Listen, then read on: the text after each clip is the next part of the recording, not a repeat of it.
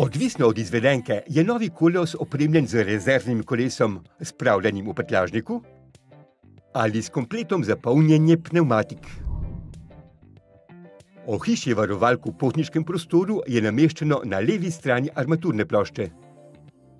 Odvisno od izvedenke, je na desni strani armaturne plošče na voljo dodatno ohišje varovalk v potniškem prostoru. Za dostop do njega prav tako odstranite pokrov.